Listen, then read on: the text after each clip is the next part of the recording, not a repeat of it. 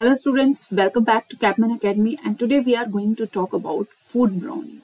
So you must have seen sometimes the food colors, it changes into the brown color. And this reaction is very common. It always occurs in certain type of food material, right?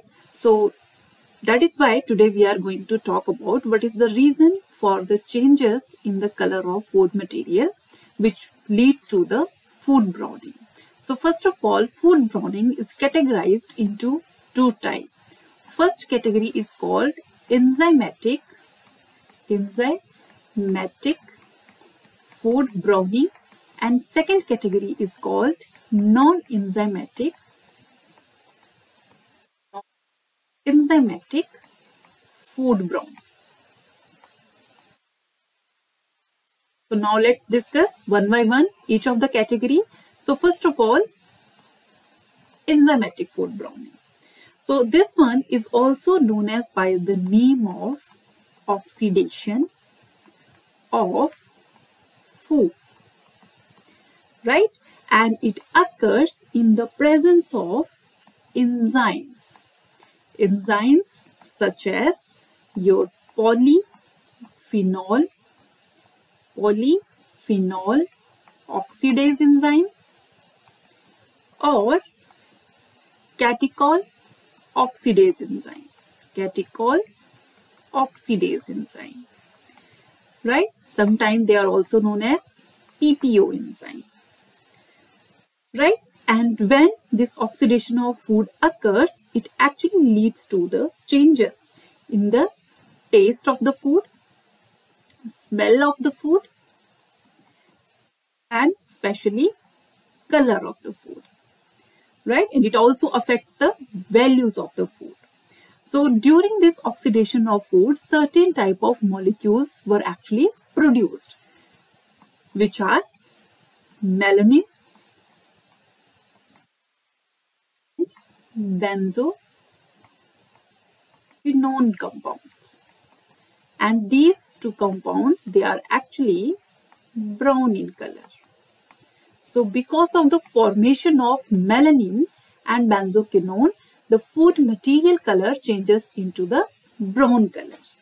So if we see the total reaction, how the enzymatic food browning is happening. So in this case, certain type of foods, they contain phenolic compounds in it.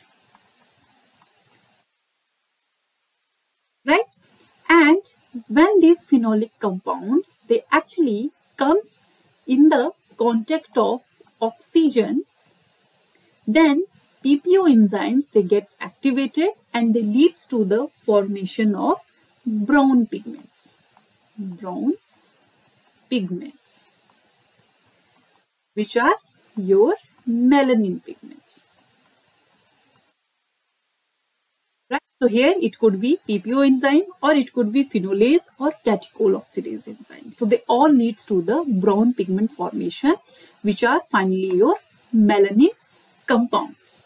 Right. So because of this reason, because enzymes here are responsible for the food browning, this one reaction is also called enzymatic oxidative oxidative food brown.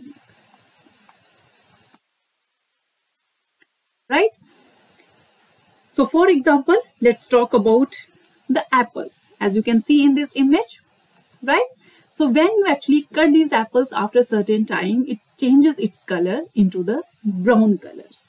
So why this is happening? Because apples, it also contain phenolic compounds in it right? And when it comes under the contact of the oxygen, it leads to the melanin formation by the activation of phenolase a polyphenol oxidase enzyme. Same way it happens in bananas, avocados, right? And other type of food materials. So these phenolic compounds, they comes under the category of, they could be caffeic acids present in the food material, chlorogenic acid, genic acid, right? Or they could be flavanol. So they all leads to the food browning of the food material, right? But in some times, in certain time, the food material, food browning, you can categorize into two types. It could be your non-beneficial food browning. It could be your beneficial food browning.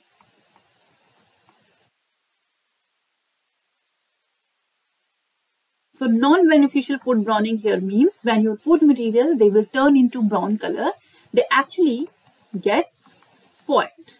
They won't be, you won't be able to consume them.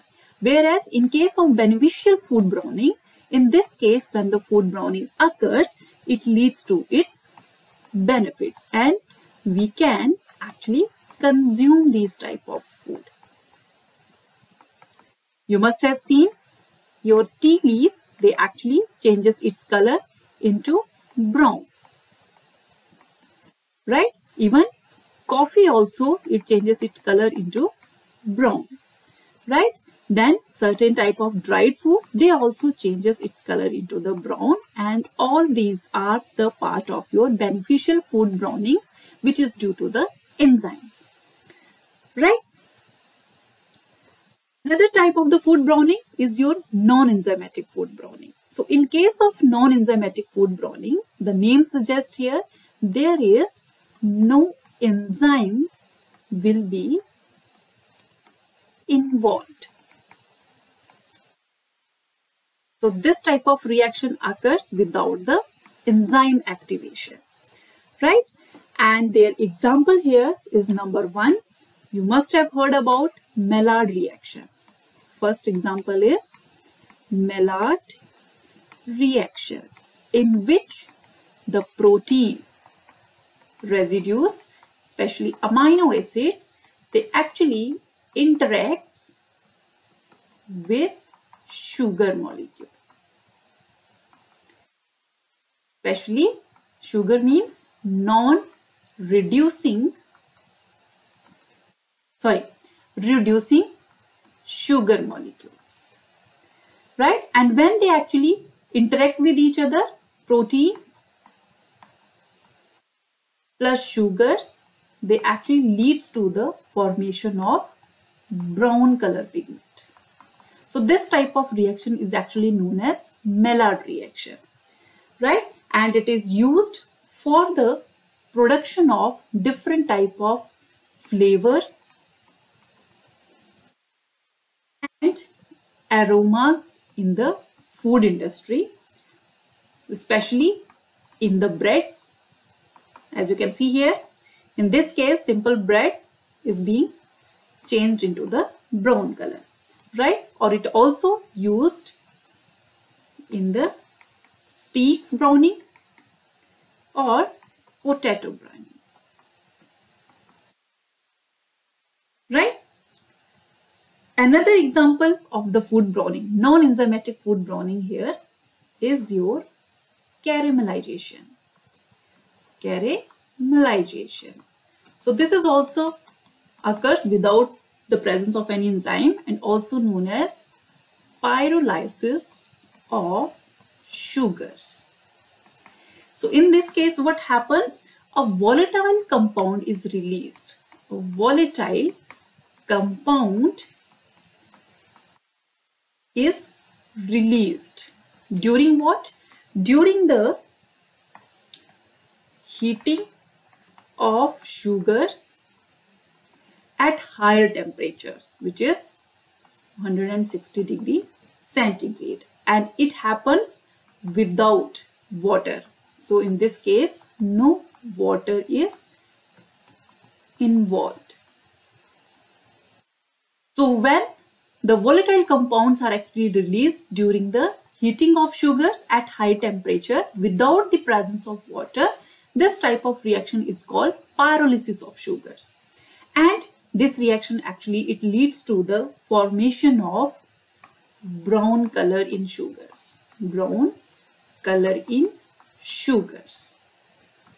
Right? And it also form particular flavors, nutty flavors or sometimes it is known as caramel flavor.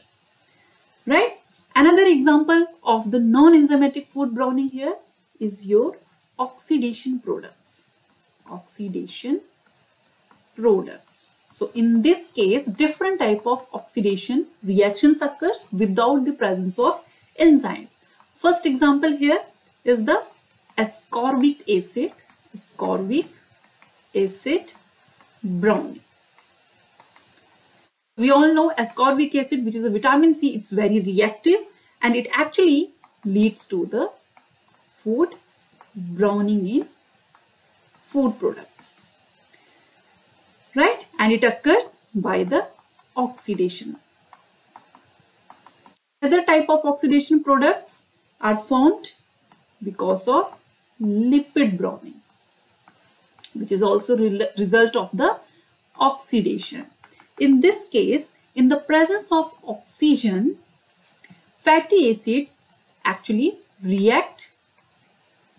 Fatty acids which are unsaturated fatty acids they actually react with oxygen and leads to the oxidation products formation which could be your aldehydes aldehydes or ketones so when they actually react with amino acids they lead to the formation of brown pigments brown pigment. So here they again causing the food browning in the food material. Right? So these are the very important food browning processes which are actually used in the food industry. As you can see, Maillard reaction is used for the production of different type of flavors and aromas. Same way, caramelization is also used for the production of different type of flavors in different type of food materials. So these are the two important reactions which occurs in the food products. Some of the reactions leads to the food spoilage and some of the reaction leads to the food quality improvement. So this is about the food browning. That's all for the today. Thank you.